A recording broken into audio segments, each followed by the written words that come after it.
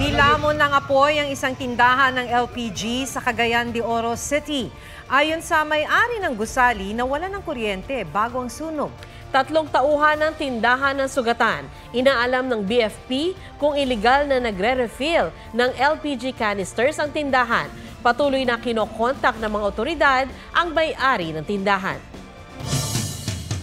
Inamin ni Cassandra Leong na siya ang nag-ayos ng application ng Lucky South 99 Pogo sa Securities and Exchange Commission at accreditation ito sa PAGCOR. Pero wala raw siyang kinalaman sa negosyo ng pamilya ng boyfriend niyang si Wesley Guo, kapatid ni dismissed Banban Mayor Alice Guo. May report si Rafi Tima. uh, suspension that Kinonsensya ng isang mambabata si Cassandra Leong para magsalita. These are all the torture victims na nakuha sa cellphone doon sa Porac at sa Banban. Ito naman yung mga namatay. They are 66 foreigners, almost all Chinese. Nakita mo na ba sila? Hindi pa. Hindi po. Okay. Uh, the reason why I showed you all these pictures is for you to realize the gravity of what you are into right now. Kalaunan, inamin ni Ong na siya ang nag-ayos ng application ng Lucky South 99 at Whirlwind Corporation sa Securities and Exchange Commission. Gayon din ang accreditation ng Lucky South sa PAGCOR. Ninong daw niya si Mr. Warren Wu na hinihinalang presidente and finance officer ng Lucky South 99. Ah, yung business po namin is nag-rent lang para sa mga Ano po yung business niyo? building, real estate lang po. I'm not Pogo. related to any Pogo po. Wala rin daw siyang kinalaman sa Pogo Hub sa Bambantarlak at sa mga negosyo ng mga go. Paano niyo po nakilala ang mga go? Boyfriend ko po si Wesley Go. Therefore, um, malapit ka kay Alice Go. Hindi po. Pumayag si Ong na pumirma ng waiver para mabusisi ang kanyang bank accounts. Ang kasamang nahuli sa Indonesia ni Cassandra na si Sheila Go, nauna na rin sinabi na wala siyang kinalaman sa negosyo ng mga Go.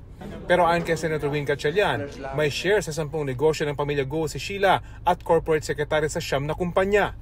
over the span of uh, 9 to 10 years, 90 plus times, 93 times siya pumerma sa iba't ibang dokumento. So in, ibig, ibig sabihin, sa documents alone, sentro siya sa aktibidad ng Go family.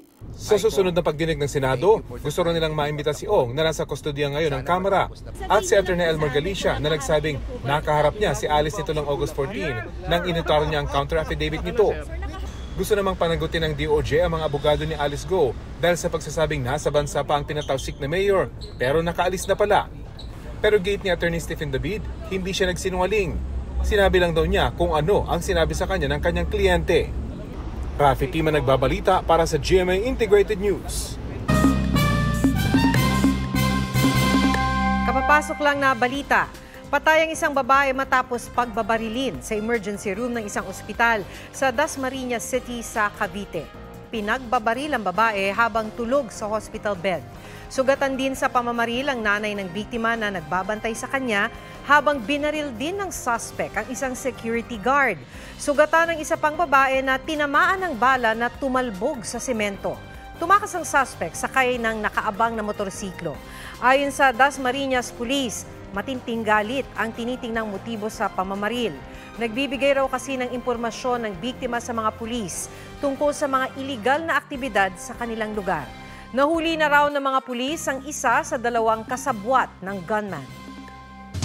Mga sikretong lagusan at mga kwarto sa basement, ilan lang yan sa nadiskubre ng mga pulis sa paghalughog sa compound ng Kingdom of Jesus Christ. Gumamit na ng mga dagdag na equipment ang mga otoridad para matrace kung nandoon ba si Pastor Apollo Kibuloy. May report si June Veneracion. Ito po. Ito yung yung cathedral. Pagbukas mo sa ano rito, this is now the secret door. At dito ka ngayon papasok. Ang lagusang tinutukoy ni DILG Secretary Benhur Abalos. Tumbok daw ang kwarto ni Kingdom of Jesus Christ founder Pastor Apollo Kibuloy. May magagarang silid at basement. May mga kwarto ring hindi pa tapos. Kinukuha namin ang plano mismo nito sa Office ng Engineering ng City ng Davao. It's a violation. Ba't hindi nakadeklara? Lahat ng intricate things na ginawa at binuo po doon, no? na pwedeng pagtaguan. Binuksan din ng pulisya ang tila bakal na nakatakip sa sahig ng cathedral. Pero imbis na entrance ng bunker, bumugad sa kanila ang masangsang na amoy.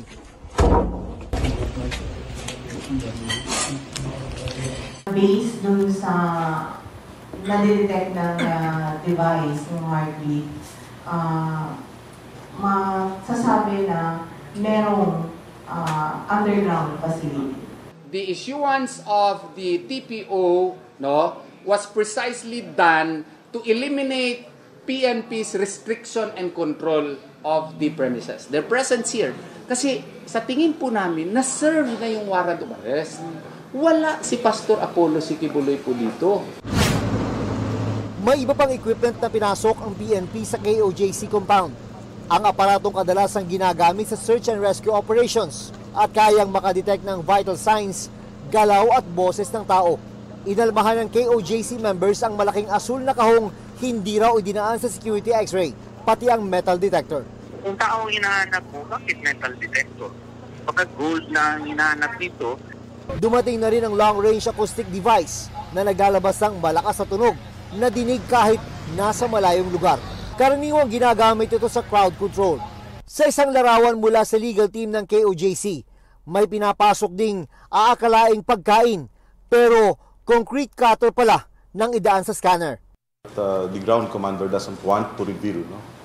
This, this is part of the uh, uh, operational data, no, operational information that could uh, jeopardize yung uh, conduct in the serving uh, the warrant of arrest. Dumating na rin sa Davao City ang karagdagang pulis na tutulong sa civil disturbance management. Hiniling naman ng KOJC sa Davao Engineers Office na ipatigil na ang drilling ng PNP sa compound. Pinalawig naman ng Court of Appeals ang freeze order para sa mga bank account, sasakyan at ari-arian ni Kibuloy at iba pang akusado. June Veneracion nagbabalita para sa GMA Integrated News. Tatlo ang patay matapos tumaob ang dalawang bangka galing Boracay sa karagatang bahagi ng Kaluya Island sa Antique. Madaling araw noong lunes nang maglayag ang mga bangkang may dalawampung sakay. Matapos ang tatlong oras, lumubog ang mga ito dahil sa malalaking alon. Sampu ang nakaligtas at napadpad sa San Jose, Romblon. Tatlong sakay ang nari- bangkay ang narecover sa Looc, Rom- Romblon. Patuloy ang paghahanap sa pitupang nawawala. Sa kabila ng paghingi ng tawad, nanindigan ng traffic enforcer na dapat pa ring makulong ang driver ng SUV na humarurot kahit nasa hood ang pumipigil na enforcer. Sa pagharap niya sa MMDA, sinabi ng SUV driver na nagpanik siya. May bumubulabog daw sa sasakyan niya noon kasunod ng umano'y pagbangga sa kanya ng isang motorcycle taxi. Iginit naman ng motorcycle taxi rider na siya ang dalawang beses na binangga ng SUV. Naghain ng reklamo sa LTO ang MMDA laban sa SUV driver. Pinasususpinde o pinakakansela na rin ang kanyang lisensya.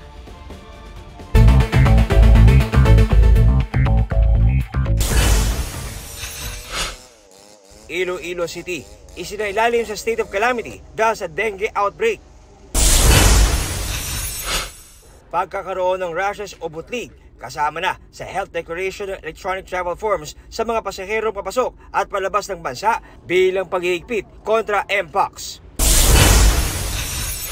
Kampo ni dating Congressman Arnie Davis, itinanggi ang anunsyo ng DOJ na ibinasura raw ng Timor-Leste ang apela nila kontra extradition request ng gobyerno ng Pilipinas. John Consulta, nagbabalita para sa GMA Integrated News.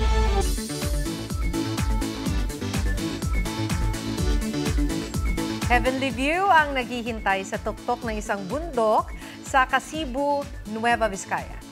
Ang bayan may pinagmamalaki ring waterfalls. G tayo riyan kasama si Marizu Mali.